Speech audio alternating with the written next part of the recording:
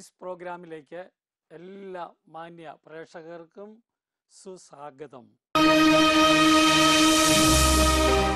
പരിശുദ്ധ പിതാവിന്റെ സന്ദേശങ്ങൾ പ്രസംഗങ്ങൾ ഈ പ്രോഗ്രാമിലൂടെ നാം മലയാളിക്ക് പരിചയപ്പെടുത്തുന്നു. മാർപ്പാപ്പ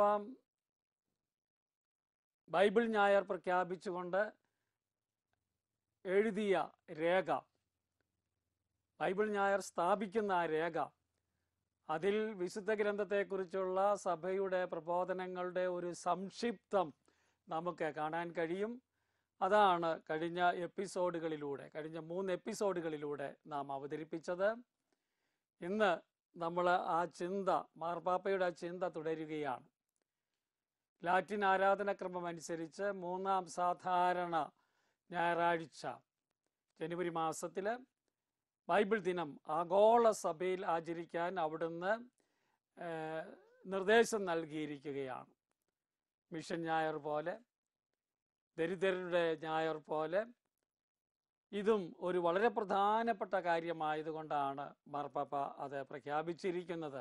കരുണയുടെ വർഷത്തിൽ ഇങ്ങനെ ഒരു ദിവസം പ്രഖ്യാപിക്കുമെന്ന കാര്യം മാർപ്പാപ്പ മുൻകൂട്ടി പറഞ്ഞിരുന്നു. അത് ഈ സെപ്റ്റംബർ ഇരുപത്തി ഒൻപതിന് മാർപ്പാപ്പ അന്വർത്ഥമാക്കി എന്ന് നമുക്ക് പറയാൻ സാധിക്കും. പത്ത് പതിനാല് പോയിന്റുകളിലാണ് മാർപ്പാപ്പ തന്റെ ഈ രേഖ അവതരിപ്പിച്ചിരിക്കുന്നത്. നമ്മൾ ഇതിനോടകം പത്ത് പോയിന്റുകൾ പറഞ്ഞു കഴിഞ്ഞു. കഴിഞ്ഞ എപ്പിസോഡിൽ പരിശുദ്ധാത്മാവ് നവമായി നമ്മെ വിശുദ്ധ ഗ്രന്ഥം മനസ്സിലാക്കാൻ സഹായിക്കുന്നു. പരിശുദ്ധാത്മാവിനോട് ചേർന്ന് അത് കേൾക്കുകയും ധ്യാനിക്കുകയും വായിക്കുകയും ചെയ്യുമ്പോഴാണ് സംഭവിക്കുന്നത് എന്ന കാര്യം പറഞ്ഞു. ശിഷ്യന്മാർക്ക് തന്റെ താൻ പറഞ്ഞ ഉപമകൾ മനസ്സിലാക്കി മനസ്സിലായി എന്ന് പറഞ്ഞപ്പോൾ ഈശോ പറഞ്ഞ വചനം മാർപ്പാപ്പ നമ്മൾ കഴിഞ്ഞ എപ്പിസോഡിൽ കേട്ടതാണ് അവസാനമായി പറഞ്ഞു വെച്ചു. സ്വർഗരാജ്യത്തിന്റെ ശിഷ്യനായി തീർന്ന ഓരോ നിയമജ്ഞനും തന്റെ നിക്ഷേപത്തിൽ നിന്നും പുതിയതും പഴയതും പുറത്തെടുക്കുന്ന വീട്ടുടമസ്ഥന് തുല്യനാണ്. ഒരു നിധിയാണ്. അപ്പോൾ ധ്യാനപൂർവം വായിക്കുന്ന ആളുകൾക്ക് പുത്തനായ ആശയങ്ങൾ പുത്തനായ ചിന്തകൾ നമുക്ക് ലഭിക്കും എന്നത് ശരിയാണ്. എത്രയോ മനോഹരമായ ചിന്തകളാണ്. ബൈബിൾ ധ്യാനിക്കുന്ന വിശുദ്ധ വചനം ധ്യാനിക്കുന്ന ആളുകളിലൂടെ നമുക്ക് കേൾക്കാൻ ഇടയാകുന്നത് നമുക്കറിയാം. നിത്യപിതാവിന്റെ വചനം മനുഷ്യ വ്യക്തികളുടെ ദുർബല ശരീരം തന്നിലേക്ക് സ്വീകരിച്ചപ്പോൾ അവരുടെ സാദൃശ്യവും സ്വീകരിച്ചു. അതാണ് സംഭവിച്ചത്. നിത്യവചനം പിതാവിന്റെ വചനം മനുഷ്യ വ്യക്തികളുടെ ദുർബല നമ്മുടെയൊക്കെ ദുർബല ശരീരം തന്നിലേക്ക് സ്വീകരിച്ചപ്പോൾ അവരുടെ സാദൃശ്യവും സ്വീകരിച്ചു മനുഷ്യനായി അവിടുന്ന് ഈ ലോകത്തെ ജീവിച്ചു.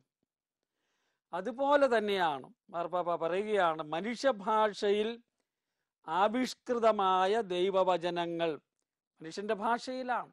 അത് എഴുതപ്പെട്ടത്. എല്ലാ തരത്തിലും മനുഷ്യന്റെ സംസാരം പോലെയാണ് സംഭാഷണം പോലെയാണ്.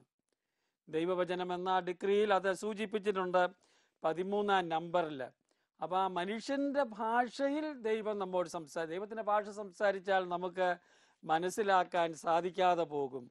അതുകൊണ്ടാണ് മനുഷ്യന്റെ ഭാഷയിൽ അവിടുന്ന് സംസാരിക്കുന്നത്. നിത്യവചനത്തിന്റെ മനുഷ്യാവതാരം ദൈവവചനവും നമ്മുടെ മനുഷ്യഭാഷയും തമ്മിലുള്ള ബന്ധത്തിന് അതിന്റെ ചരിത്രപരവും സാംസ്കാരികവുമായ എല്ലാ സംഭാവ്യതയിലും ആകൃതിയും അർത്ഥവും നൽകുന്നു എന്ന് നമുക്ക് പറയാനാവും. വാചകം വിശദീകരിക്കാം.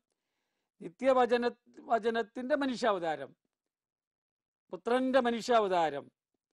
നമ്മളെ പഠിപ്പിക്കുന്ന ഒരു പാഠം ഇതാണ്. ദൈവവചനവും നമ്മുടെ മനുഷ്യ ഭാഷയും തമ്മിലുള്ള ബന്ധത്തിന്. അതിന്റെ ചരിത്രപരമായൊരു വശമുണ്ട്. രണ്ടായിരം കൊല്ലങ്ങൾക്ക് മുമ്പ് എഴുതപ്പെട്ടതാണത്. രണ്ടായിരം അല്ല നമുക്കറിയാവില്ല നാലായിരം കൊല്ലങ്ങളുടെ പഴ- പഴക്കമുണ്ട് ഏറെക്കുറെ. അതിന്റെ ചരിത്രപരവും സാംസ്കാരികവുമായ എല്ലാ സംഭാവ്യതയിലും അതിന്റെ ആകൃതിയും അർത്ഥവും നൽകുന്നു. ഈ സംഭവം പാരമ്പര്യമാണ് സൃഷ്ടിക്കുന്നത്. ഇതൊരു പാരമ്പര്യം സൃഷ്ടിക്കുന്നു. അതുകൊണ്ട് ആ തരത്തിലുള്ള പാരമ്പര്യവും ദൈവവചനമാണ്. ഇത് നമ്മൾ ദൈവവചനം എന്ന ആ ഡിഗ്രിയിൽ പ്രമാണരേഖയിൽ ഒമ്പതാം നമ്പറിൽ വായിക്കുന്നുണ്ട്. പാരമ്പര്യവും വിസ്തലിഖിതവും തമ്മിലുള്ള ബന്ധം. വിശുദ്ധ ലിഖിതത്തെയും വിശുദ്ധ പാരമ്പര്യത്തെയും വേർപെടുത്തുക എന്ന അപകട സാധ്യത നാം പലപ്പോഴും ഉണ്ടാക്കുന്നുണ്ട്. പ്രത്യേകിച്ച് സഭയുടെ ചരിത്രത്തിൽ നമുക്കറിയാമല്ലോ വചനം മാത്രം എന്ന് പറയുന്ന ചിന്താഗതി പതിനാറാം നൂറ്റാണ്ടിൽ രൂപം കൊണ്ടതാണ്. മറ്റേ ഒന്നിനും സംഭവിക്കും ബൈബിൾ മാത്രം.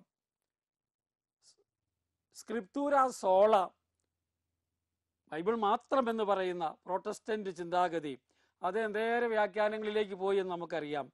അതേസമയം വിശുദ്ധമായ പാരമ്പര്യം കൂടിയുണ്ട് ഈ വചനത്തോടൊപ്പം. അത് തമ്മിൽ വേർപെടുത്താനാവില്ല. മാർപ്പാപ്പ നമ്മളെ ഓർമ്മിപ്പിക്കുകയാണ്.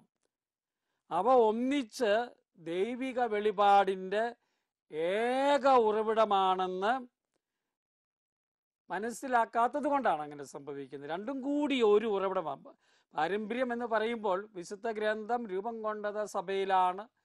അത് ക്രമാനുഗതമായി വികസിച്ചതാണ് എന്ന കാര്യങ്ങളൊക്കെ അതിന്റെ അകത്ത് പെടുന്നുണ്ട്. ബൈബിളിന്റെ ലിഖിത സ്വഭാവം പൂർണമായി സജീവ വചനമായിരിക്കുക എന്നതിൽ നിന്ന് ഒന്നും എടുത്തു കളയുന്നില്ല. ആ ലിഖിത സ്വഭാവം അത് സജീവ വചനമായിരിക്കുന്ന അതിൽ നിന്ന് ഒന്നും എടുത്തു കളയുന്നില്ല. അത് സജീവമായി എന്നും നിലനിൽക്കുന്നു.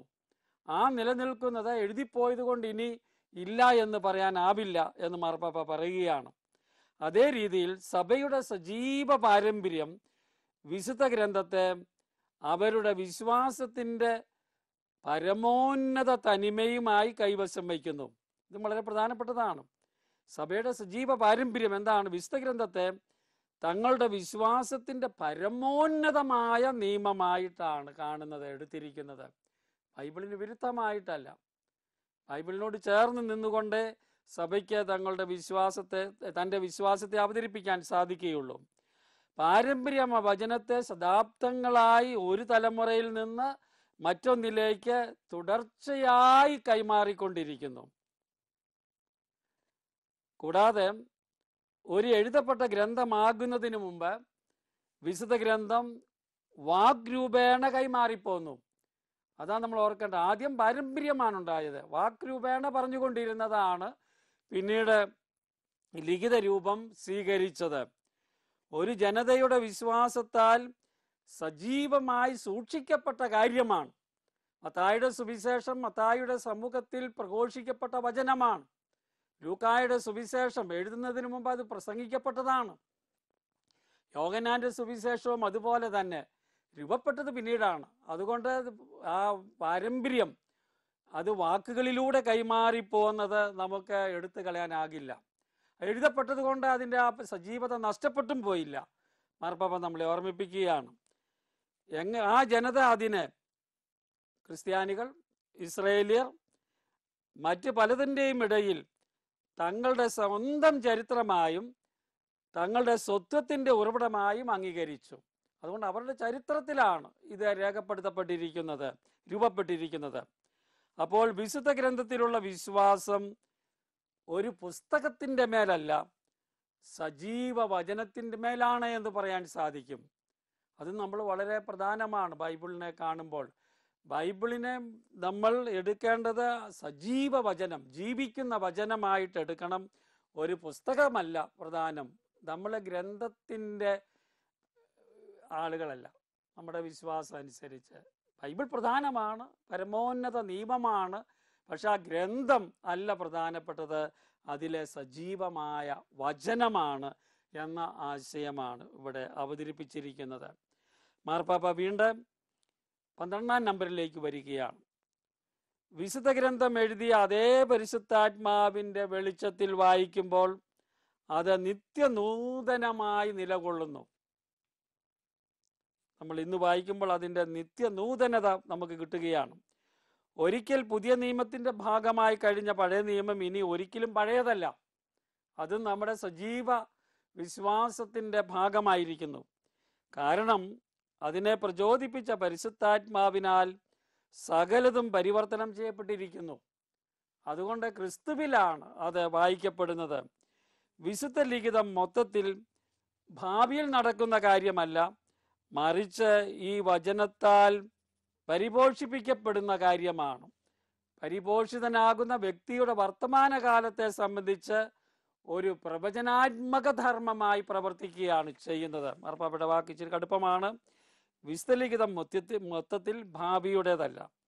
മറിച്ച് ഈ വചനത്താൽ പരിപോഷിതനാകുന്ന വ്യക്തിയുടെ വർത്തമാനകാലത്തെ സംബന്ധിച്ച് ഒരു പ്രവചനാത്മക ധർമ്മമായി പ്രവർത്തിക്കുകയാണ്. നമുക്ക് അത് ജീവിതത്തിന് അർത്ഥം നൽകുന്ന കാര്യമായി തീരുകയാണ്. ഈശോ തന്റെ പരസ്യ ജീവിതത്തിന്റെ ആരംഭത്തിൽ ഈ കാര്യം ഓർമ്മിപ്പിക്കുന്നുണ്ട് നമ്മൾ പ്രസ്താവിക്കുന്നുണ്ട് വ്യക്തമായി പറയുന്നുണ്ട്. ഈശോ പറഞ്ഞ എന്താണ്? ഐസിയാസിന്റെ പുസ്തകത്തിൽ നിന്ന് അവിടുന്ന് വായിച്ചുകൊണ്ടാണ് കൊണ്ടാണ് നസ്രത്തിലെ സിനഗോഗിൽ തന്റെ പരസ്യ ജീവിതം ആരംഭിക്കുന്നത്. അവിടെ ഇങ്ങനെ നമ്മൾ വായിക്കും. ലൂക്കായുടെ സുവിശേഷം നാലാമധ്യായം ഇരുപത്തി ഒന്നിൽ നിങ്ങൾ കേട്ടിരിക്കെ തന്നെ ഇന്ന് ഈ തിരുവഴുത്ത് നിറവേറിയിരിക്കുന്നു. ഇന്ന് ആ വാക്കിന് ഊന്നൽ കൊടുക്കണം. വർത്തമാനകാലത്തിലാണ്. പഴയതാണ്. അന്ന് മുൻകൂട്ടി പറഞ്ഞ കാര്യമാണ്. രക്ഷകന്റെ വരവിനെക്കുറിച്ച് അത് ഇന്ന് നിറവേറിയിരിക്കുന്നു എന്ന് പറയുകയാണ്. അനിശ്ചിതമായ ഭാവിയിലേക്ക് നീണ്ടുപോകുന്നതല്ല അതിനാൽ ദൈവവചനത്തിൽ നിന്ന് ദിനം പ്രതി പോഷണം സ്വീകരിക്കുന്നവർ എന്താണ് ചെയ്യുക? അല്ലെ സ്വീകരിക്കുന്നവൻ? ഈശോയെ പോലെ താൻ അഭിമുഖീകരിക്കുന്ന എല്ലാവരുടെയും സമകാലികനായി തീരുകയാണ്. ഈശോ എല്ലാ കാലത്തും ഒരുവൻ തന്നെയാണ്. പ്രയാപുസ്തകത്തിൽ നമ്മൾ വായിക്കുന്നില്ലേ? അവൻ ഇന്നലെയും ഇന്നും എന്നും ഒരുവൻ തന്നെയാണ്. ഇതാണ് ഈശോയുടെ പ്രത്യേകത. അതുപോലെയാണ് ദൈവവചനത്തിൽ നിന്ന് പോഷണം സ്വീകരിക്കുന്ന വ്യക്തിയും ഇന്നത്തെ ലോകത്ത് ജീവിക്കുന്ന എല്ലാവരുടെയും നാളെ വരാനിരിക്കുന്നവരുടെയും സമകാലികനായി തീരുന്ന ഒരു യാഥാർത്ഥ്യമുണ്ട്. ഭൂതകാലത്തെക്കുറിച്ചുള്ള വന്ധ്യമായ ഗ്രഹാതുരത്വത്തിലേക്കോ നമുക്ക് തിരിഞ്ഞു പോകാൻ പറ്റില്ല. ഒരു നഷ്ടബോധത്തോടെ പഴയതിനെപ്പറ്റി മാത്രം പറഞ്ഞുകൊണ്ടിരിക്കാൻ പറ്റില്ല. ഇനിയും വരാനുള്ള സ്വർഗീയ സങ്കല്പങ്ങളുടെ സ്വപ്നത്തിലേക്കോ വീഴാൻ നമുക്ക് പാടുള്ളതല്ല. വചനം ഇന്നും പ്രസക്തമായി നമ്മുടെ ജീവിതത്തിൽ നിൽക്കുന്നു എന്നാണ് അതിന്റെ അർത്ഥം. അപ്പം മറ്റു തരത്തിലുള്ള പ്രലോഭനങ്ങളെ അതിജീവിക്കാൻ നമുക്ക് സാധിക്കണം. വിശുദ്ധ ലിഖിതം അത് ശ്രവിക്കുന്നവരിൽ അതിന്റെ പ്രവചനാത്മക പ്രവർത്തനം പൂർത്തിയാക്കുന്നു. വചനത്തിന് എന്നത്തേക്കുമുള്ള ഒരു നിത്യം ജീവിക്കുന്ന വചനമാണ്. അപ്പോൾ അത് കേൾക്കുമ്പോൾ അത് വായിക്കുമ്പോൾ അത് പഴയ നിയമത്തിൽ നിന്നാകട്ടെ പുതിയ നിയമത്തിൽ നിന്നാകട്ടെ അതിന്റെ പ്രവചനാത്മക പ്രവർത്തനം നമ്മളിൽ പൂർത്തീകരിക്കും. അതുകൊണ്ട് വചനം നമ്മളിൽ സബലീകരിക്കും എന്ന കാര്യമാണ് നമ്മൾ ഓർക്കേണ്ടത്. അതേപ്പറ്റി ബൈബിളിൽ തന്നെ പറയുന്നുണ്ട് അത് മധുരവും കയ്പുമുള്ളതായി തെളിയിക്കപ്പെടും. അത് മധുരവും കയ്പുമായി കർത്താവ് ലേഖന ചുരുൾ ഭക്ഷിക്കാൻ കൽപ്പിച്ച പോലെ. എസക്കിയലിനോട് ആണ് കർത്താവ് അത് പറഞ്ഞത്. അപ്പോൾ എസക്കിയൽ പറഞ്ഞത് അത് ഭക്ഷിച്ചുകൊണ്ട് പറഞ്ഞത് എന്താണ്? എന്റെ വായിൽ അത് തേൻ പോലെ മധുരിച്ചു. എസക്കിയലിന്റെ പ്രവചനം മൂന്നാം അധ്യായം മൂന്നിൽ നമ്മളത് വായിക്കുന്നുണ്ട്. എന്റെ വായിൽ അത് തേൻ പോലെ മധുരിച്ചു. അത് തന്നെ യോഗന്നാൻ പറയുന്നുണ്ട്. പത്മോസ് ദ്വീപിൽ വെച്ച് യോഗന്നാനും ഈ അനുഭവം പറയുന്നുണ്ട്. ഇതാണ് നമുക്ക് ഇന്നുണ്ടാകാവുന്ന അനുഭവം. അതെന്റെ വായിൽ തേൻ പോലെ മധുരിച്ചു. എന്നാൽ വിഴുങ്ങിയപ്പോൾ ഉദരത്തിൽ അത് കയ്പായി മാറി. വെളിപാടിന്റെ പുസ്തകം പത്താമധ്യായം പത്തിലാണ് നാം അത് വായിക്കുന്നത്. അപ്പം ദൈവവചനത്തിന്റെ മാധുര്യം ജീവിതത്തിൽ നാം കണ്ടുമുട്ടുന്ന സകലരുമായി അത് പങ്കുവയ്ക്കുന്നതിലേക്ക് നയിക്കുന്നു. ദൈവവചനത്തിൽ നിന്ന് മാനസാന്തരം കിട്ടുമ്പോൾ നമുക്കുണ്ടാകുന്ന ഒരു സന്തോഷം പറയാൻ പ്രേരിതരാകുന്നു. ധ്യാനം കൂടി വചനം കേട്ട് മാനസാന്തരപ്പെടുന്ന ആളുകൾ മറ്റുള്ളവരോട് അത് പറയുന്നത് എത്രയോ പ്രാവശ്യം നമ്മൾ കണ്ടുമുട്ടിയിട്ടുള്ളതാണ്. അതുപോലെ അത് ഉൾക്കൊള്ളുന്ന സുനിശ്ചിതമായ പ്രത്യാശ പ്രഘോഷിക്കുന്നതിലേക്കും നമ്മളെ നയിക്കും. അപ്പം നമ്മളിൽ തന്നെ അത് ഒതുക്കി വയ്ക്കില്ല വചനത്തിന്റെ അനുഭവം മറ്റുള്ളവരോട് പറയാനുള്ള താല്പര്യം പ്രത്യാശ കൊണ്ട് നിറയാനുള്ള താല്പര്യം നമുക്കുണ്ട്. അതാണ് മാധുര്യം. ദൈവവചനത്തിന്റെ മാധുര്യം എന്ന് പറയുന്നത്. അത് നമ്മൾ അനുഭവവേദ്യമായാൽ അത് മറ്റുള്ളവരോട് നാം പറയണം. പറയാനുള്ള പ്രത്യാശ കൊണ്ട് നാം നിറയണം. അവന്റെ കയ്പിനെ പറ്റി പറയുമ്പോൾ എന്താണ് പറയുന്നത്? ആ വചനം സുസ്ഥിരമായി ജീവിക്കുന്നതിലെ പ്രയാസത്തിൽ നിന്നാണ് വരുന്നത്. ദൈവവചനം അനുസരിച്ച് ജീവിക്കുക എന്ന് പറയുന്നത് എളുപ്പമല്ല. ദൈവം പറഞ്ഞിട്ടില്ല അത് എളുപ്പമാണെന്നുള്ളത്.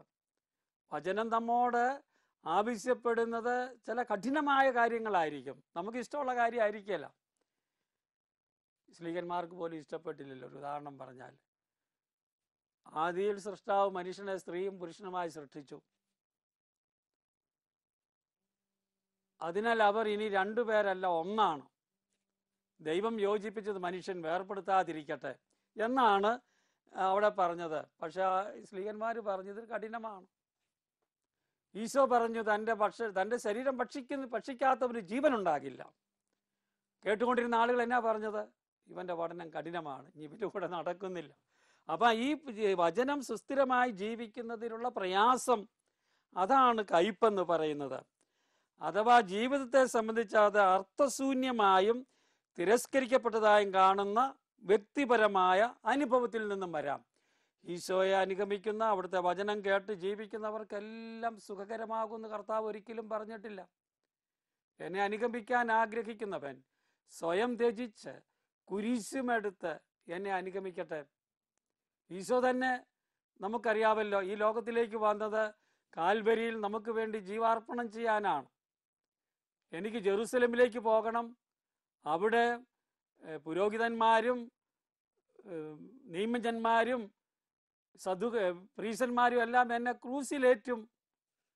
അപ്പം പത്രോസ് പറഞ്ഞു എന്റെ കർത്താവെ നിനക്കത് സംഭവിക്കാതിരിക്കട്ടെ. നീ അങ്ങനെ പോകണ്ട. ഈശോ അവനോട് പറഞ്ഞു സാത്താനെ നീ പിറകിൽ പോകൂ. നീ ദൈവികമായിട്ടല്ല ചിന്തിക്കുന്നത് മാനുഷികമായിട്ടാണ്. നമ്മുടെ ജീവിതത്തിലുമുണ്ട് വചനം സ്വീകരിച്ചങ്ങ് ജീവിച്ചു കളയാമെന്ന് വരുമ്പോൾ അത് നമുക്ക് ആത്യന്തികമായ നന്മയിലേക്ക് വരുമെങ്കിലും നമുക്ക് അനുദിന ജീവിതത്തിൽ ക്ലേശങ്ങൾ ഉണ്ടാകും. അവയെപ്പറ്റിയാണ് കയ്പിനെ പറ്റി ഇവിടെ പറയുന്നത്. ഓ ഇത് അർത്ഥശൂന്യമാണ്. ഇത് ഫോളോ ചെയ്തിട്ട് എന്ത് കിട്ടാനാണ് എന്ന് ചിന്തിക്കുന്ന വ്യക്തിപരമായ അനുഭവത്തെക്കുറിച്ചാണ് അവിടെ പറയുന്നത്. ദൈവവചനത്തെ മുഴുവനും അക്ഷരാർത്ഥത്തിലെടുത്ത് അത് അങ്ങനെ സംഭവിക്കുമെന്ന് കരുതരുത് എന്ന് മാർപ്പാപ്പ ഇവിടെ പറയുകയാണ്. ചില ആളുകളൊക്കെ വ്യാഖ്യാനിക്കുന്ന അങ്ങനെയാണല്ലോ. അക്ഷരാർത്ഥത്തിലെടുക്കുന്നു. നമ്മൾ കണ്ടു ഇതിന്റെ മാനുഷിക ഭാഷയുടെ ഒരു പരിമിതി. ആത്മാവിന്റെ ആ നിവേശനം ഇത് രണ്ടും കൂടി വെച്ചുകൊണ്ട് വേണം ബൈബിളിനെ എടുക്കാൻ. ദൈവവചനത്തെ അക്ഷരാർത്ഥത്തിൽ എടുക്കുന്നത് ശരിയാകില്ല എന്നതാണ്. വചനത്താൽ പരിപോഷിതരാകാൻ നാം നമ്മെ തന്നെ അനുവദിക്കുകയാണ് വേണ്ടത്. സത്യത്തിൽ വചനം നമ്മുടെ ജീവിതത്തെ രൂപാന്തരപ്പെടുത്താൻ അനുവദിക്കുകയാണ്. അതിൽ വളരാൻ അനുവദിക്കുകയാണ് നാം ചെയ്യേണ്ടത്. അത് ദൈവവുമായും സഹോദരങ്ങളുമായും നമ്മുടെ ബന്ധം അംഗീകരിക്കാനും അവ പൂർണമായി ജീവിക്കാനുമാണ്. സത്യത്തിൽ വചനത്തിന്റെ പ്രധാനപ്പെട്ട കാര്യം അതാണല്ലോ ദൈവവുമായുള്ള ഗാഠമായ ബന്ധം. നമ്മുടെ സഹോദരങ്ങളുമായുള്ള ബന്ധത്തിലേക്ക് നടന്നു നീങ്ങാനാണ് അത് നമ്മളെ ഓർമ്മിപ്പിക്കുന്നത്. അപ്പോൾ ഇത് വളരെ വളരെ പ്രധാനപ്പെട്ട കാര്യമാണ്. വളരെ വളരെ പ്രധാനപ്പെട്ട കാര്യമാണ്. നമ്മൾ അടുത്ത പോയിന്റിലേക്ക് കടന്നു വരികയാണ്. പതിമൂന്നാമത്തെ പോയിന്റ്. അതിതാണ് സ്നേഹത്തോട് ബന്ധപ്പെട്ടതാണ് വിസ്തലിഖിതം ഉയർത്തുന്ന മറ്റൊരു വെല്ലുവിളി. മാർപ്പാപ്പ ഇവിടെ സൂചിപ്പിക്കുകയാണ്. സ്നേഹത്തോട് ബന്ധപ്പെട്ടതാണ്. സ്നേഹത്തിൽ ജീവിക്കാൻ തന്റെ മക്കളെ വിളിക്കുന്ന പിതാവിന്റെ കാരുണ്യപൂർണമായ സ്നേഹത്തെക്കുറിച്ച് ദൈവവചനം നമ്മെ നിരന്തരം അനുസ്മരിപ്പിക്കുന്നു. മാർപ്പാപ്പ തന്റെ പ്രസംഗങ്ങളിലെല്ലാം എടുത്തു കാട്ടുന്ന ആശയമാണിത്. നമ്മെ അവിടുന്ന് ക്ഷണിക്കുന്നത് സ്നേഹത്തിൽ ജീവിക്കാനാണ്. അവിടുന്ന് കാരുണ്യവാനാണ്. അവിടുത്തെ കാരുണ്യപൂർണമായ സ്നേഹത്തെക്കുറിച്ച്. ഇതാണ് ദൈവവചനം നമ്മോട് പറയുന്നത്. സുവിശേഷം അതാണ്. ഈശോയുടെ ജീവിതം ഒരു ഈ ദൈവിക സ്നേഹത്തിന്റെ പൂർണമായ ആവിഷ്കാരമായിരുന്നല്ലോ. സ്നേഹം കല കലവറയില്ലാതെ അവിടുന്ന് എല്ലാവർക്കും നൽകുന്നു. അത് നമുക്ക് അറിയാം. ഇത് നമ്മൾ ഓർക്കണം. ലാസറിന്റെ ഉപമ ഇവിടെ മാർപ്പാപ്പ കൊണ്ടുവരികയാണ്. ഒരു വിലപ്പെട്ട പ്രബോധനം അവിടെ നമ്മൾ കാണുന്നു. ലാസറും ധനവാനും എന്ന കഥ. മരണശേഷം ലാസർ അബ്രാഗത്തിന്റെ മടിയിലാണ്. കഥ നമുക്കറിയാവുന്നതുകൊണ്ട് കൂടുതൽ വിശദീകരിക്കേണ്ട കാര്യമില്ല. തന്റെ സഹോദരന്മാരുടെ പക്കലേക്ക് ലാസറിനെ അയക്കണമെന്ന് ധനവാൻ അബ്രാഗത്തോട് പറയുന്ന രംഗം ഒന്ന് ഓർത്ത് നോക്കുക. അവരുടെ അയൽക്കാരെ അവർ സ്നേഹിക്കണമെന്ന് മുന്നറിയിപ്പ് നൽകാനാണ്. ഞാൻ സ്നേഹിക്കാത്തത് കൊണ്ട് ഞാനിപ്പോൾ പാതാളത്തിലാണ് എന്ന് പറയാനാണ്. അപ്പോൾ അതാണ് ഇതിന്റെ പ്രധാനപ്പെട്ട കാര്യം. അവർ സ്നേഹിക്കണമെന്ന് മുന്നറിയിപ്പ് കൊടുക്കാൻ ലാസറിനെ അയക്കാൻ തന്റെ ഗതി പീഡ അവർക്കുണ്ടാകാതിരിക്കാനുമാണത്. അപരാഗത്തിന്റെ മറുപടി നിശിതമാണ് സത്യത്തിൽ. അവർക്ക് മോശയും പ്രവാചകന്മാരുമുണ്ടല്ലോ. അവരുടെ വാക്ക് കേൾക്കട്ടെ. ലുക്കായുടെ സുവിശേഷം പതിനാറാം അധ്യായം ഇരുപത്തി ഒൻപത് ആ അധ്യായം നിങ്ങൾ മനോഹരമായി തീക്ഷ്ണമായി ധ്യാനാത്മകമായി വായിക്കണം. വിശുദ്ധ ലിഖിതം കേട്ട് കാരുണ്യം കാട്ടുക എന്നത് നമ്മുടെ മുമ്പിലുള്ള വലിയ വെല്ലുവിളിയാണ്. മാർപ്പാപ്പ പറയുന്നു വിശുദ്ധ ലിഖിതം വചനം കേട്ട് കാരുണ്യം കാട്ടുക എന്നത് നമ്മുടെ മുമ്പിലുള്ള വലിയ വെല്ലുവിളിയാണ്. ദൈവവചനത്തിൽ നമ്മുടെ കണ്ണുകൾ തുറക്കാൻ ശക്തിയുണ്ട്. വന്ധ്യമായ ഒരു വ്യക്തിഗത വാദം ഉപേക്ഷിച്ച് പങ്കുചേരലിന്റെയും ഐക്യദാർഢ്യത്തിന്റെയും ഒരു പുതിയ പാതയിൽ യാത്ര ചെയ്യുന്നതിന് നമ്മെ പ്രാപ്തരാക്കാനുള്ള ശക്തിയും അതിനുണ്ട്. പരസ്നേഹത്തിൽ ജീവിക്കാൻ വചനം നമ്മളെ സഹായിക്കും. ഇതാണ് മാർപ്പാപ്പ പതിവ് സ്നേഹം നൽകുന്ന ഒരു വെല്ലുവിളി. ദൈവവചനമാണ് നമുക്ക് നൽകുന്നത്. പതിനാലാം അധ്യായത്തിലേക്ക് നമ്പറിലേക്ക് നമുക്ക് വരാം. തന്റെ ശിഷ്യന്മാരുമായുള്ള ഈശോയുടെ ബന്ധത്തിലെ ഏറ്റവും പ്രധാനപ്പെട്ട നിമിഷങ്ങളിൽ ഒന്നാണ് രൂപാന്തരീകരണം. താബോർ മലയിലെ രൂപാന്തരീകരണം.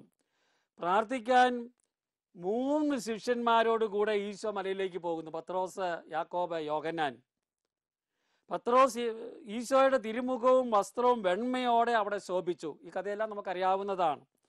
രണ്ടുപേർ അവിടുത്തോട് സംസാരിച്ചു. ആരാണ്? നിയമത്തെയും പ്രവാചകന്മാരെയും പ്രതിനിധീകരിച്ചുകൊണ്ട് യഥാക്രമം അവർ മോശയും ഏലിയായുമായിരുന്നു. ഏലിയ പ്രവാചകന്റെ പ്രതിനിധിയാണ്. പഴയ നിയമത്തിലെ പഴയ നിയമമാണത്. മോശ നിയമപുസ്തകത്തിന്റെ പ്രതിനിധിയാണ്. മറ്റു വാക്കുകളിൽ പറഞ്ഞാൽ വിശുദ്ധ ലിഖിതമാണത്. പത്രോസിന്റെ പ്രതികരണം വിസ്മയത്തിന്റെയും ആനന്ദത്തിന്റെതുമാണ് ഗുരു നാം ഇവിടെ ഇരിക്കുന്നത് നല്ലതാണ്. ഞങ്ങൾ മൂന്ന് കൂടാരങ്ങൾ ഉണ്ടാക്കാം. ഒന്ന് നിനക്ക് ഒന്ന് മോശയ്ക്ക് ഒന്ന് ഏലിയായിക്ക്. ലുക്കായുടെ സുവിശേഷം ഒൻപതാം അധ്യായത്തിൽ നമ്മളത് വായിക്കും. അതും വളരെ ഗൗരവപൂർവം ദൈവോചനത്തെ പറ്റി ചിന്തിക്കുമ്പോൾ ധ്യാനിക്കേണ്ടതാണ്. ആ നിമിഷം ഒരു മേഘം അവരെ ആവരണം ചെയ്തു എന്നാണ് എഴുതിയിരിക്കുന്നത്. പത്രോസ് അത് പറഞ്ഞപ്പോൾ അവർ ഭയപ്പെട്ടു. രൂപാന്തരീകരണം നമ്മെ കൂടാരത്തിരുന്നാളിനെ അനുസ്മരിപ്പിക്കുന്നു. മാർപ്പാപ്പ പറയുകയാണ്. പ്രവാസത്തിൽ നിന്ന് മടങ്ങി വന്ന ജനങ്ങളെ എസ്രായും നെഹമിയായും വിശുദ്ധ ഗ്രന്ഥം വായിച്ച് കേൾപ്പിക്കുന്നു. നമ്മളത് ആദ്യ ഭാഗത്ത് മാർപ്പാപ്പ പറഞ്ഞത് കേട്ടതാണ്. അതേസമയം അത് ഈശോയുടെ മൗത്വത്തിന്റെ ഭാവി സൂചന നൽകുന്നുമുണ്ട്. പീഡാനുഭവത്തിന്റെ അപവാദത്തെ പ്രതി ശിഷ്യന്മാരെ ഒരുക്കാനുള്ള ഒരു മാർഗം എന്ന നിലയിലാണിത്. നാം മുമ്പേ കണ്ടതാണ്. കർത്താവിനെ അനുഗമിക്കുക എന്ന് പറഞ്ഞാൽ എളുപ്പമല്ല. അപ്പോൾ അവരെ ഒരുക്കുകയാണ് ചെയ്യുന്നത്. ഇവിടെ ശിഷ്യന്മാരെ ആവരണം ചെയ്യുന്ന മേഘം ദൈവിക മഹത്വത്തെയും സൂചിപ്പിക്കുന്നുണ്ട്. വിശുദ്ധ ലിഖിതത്തെ സംബന്ധിച്ച് സമാനമായ രൂപാന്തരീകരണം സംഭവിക്കുന്നു. വിശ്വാസികളുടെ ജീവിതങ്ങളെ പോഷിപ്പിക്കുമ്പോഴൊക്കെ അത് അതിവിശിഷ്ടമായി തീരുന്നു. വെർബും തോമിനി കർത്താവിന്റെ വചനം എന്ന് പറയുന്ന രേഖയിൽ ബെനഡിക്റ്റ് പതിനാറാമൻ മാർപ്പാപ്പ ഇത് പറയുന്നുണ്ട്. വിശുദ്ധ ലിഖിതത്തിന്റെ വ്യത്യസ്ത അർത്ഥങ്ങൾക്കിടയിലുള്ള പരസ്പര പ്രവർത്തനം വീണ്ടും നാം കണ്ടെത്തുമ്പോൾ അക്ഷരത്തിൽ നിന്ന് അരൂപിയിലേക്കുള്ള കടന്നുപോകൽ ഗ്രഹിക്കേണ്ടത് അത്യാവശ്യമാണ്. അക്ഷരം അതിന്റെ തന്നെ അപ്പുറത്തേക്ക് പോകുന്നു. അപ്പോൾ അത് മനസ്സിലാക്കാൻ സഹായിക്കണം. അതാണ് മാർപ്പാപ്പ ഈ നമ്പറിൽ പറയുന്നത്. ഈ എപ്പിസോഡ് അവസാനിപ്പിക്കേണ്ടത് കൊണ്ട് ഞാൻ അല്പം സ്പീഡിൽ പോവുകയാണ്. പതിനഞ്ചാമത്തെ നമ്പർ മാർപ്പാപ്പ പറയുന്നു. ദൈവവചനത്തെ നമ്മുടെ ഹൃദയങ്ങളിലേക്ക് സ്വാഗതം ചെയ്യുന്ന നമ്മുടെ പാതയിൽ ഉടനീളം കർത്താവിന്റെ അമ്മ നമ്മോട് കൂടെയുണ്ട്. പരിശുദ്ധ കന്യാമറിയത്തെ പറ്റി പറയുകയാണ്.